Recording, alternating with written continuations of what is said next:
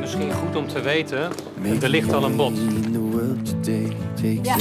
Ja. ja, ik ben wat later. Taking a break from all Mom. your worries. Het is koud hier, opa. Een beertje ook een beetje warm. Zo, hè? Wouldn't you like to give? Ik wil wat minder gaan werken. Kan ik wat vaker bij jou zijn?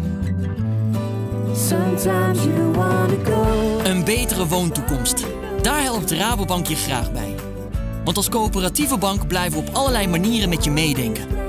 Over hoe jouw hypotheek bij je blijft passen als er iets verandert. Hoe je meer kans maakt op je eerste huis, ook nu.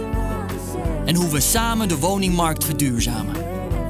Goed voor jou en goed voor jouw omgeving. De coöperatieve Rabobank.